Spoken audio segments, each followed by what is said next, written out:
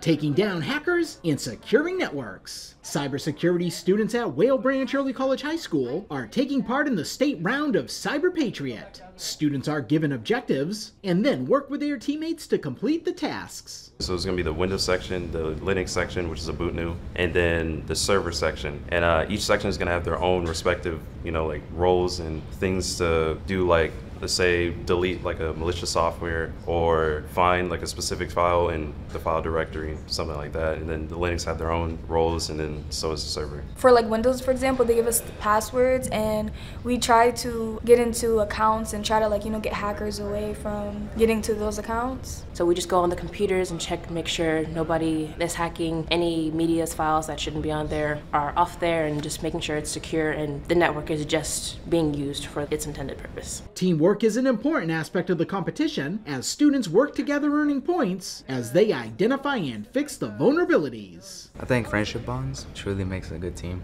and trust because you got to rely on other people to do their work so you can gain points. Having good bondings with your teammates, helping them also like with the things that they don't know or don't know how to do or just like just supporting each other all together is like what is really good with having a team. By taking cybersecurity classes and competing in CyberPatriot, the students are learning skills that will help them in the future. I think for high school students, I feel like this really does give them a chance to like really express themselves, find new ways, you know, think of career paths they never thought they would be interested in and, you know, pursue that. As technology is advancing, we're going to need more people like this to do those type of jobs. And so you learn this high school, you get more experience to get a good job after high school. It's a new skill that I'm gaining. I'm learning how to better manipulate and work with computers. I'm noticing that everything kind of has a pattern, and once you kind of recognize that pattern, you can apply it to something new that you haven't learned before. So taking software from Microsoft to like, okay, how do I use this with Android products and stuff like that. So I think it's just a really useful skill. Everybody just kind of uses it on the daily and just better understand what you are using as, like I said, a, user and just since you're constantly around technology and stuff like that.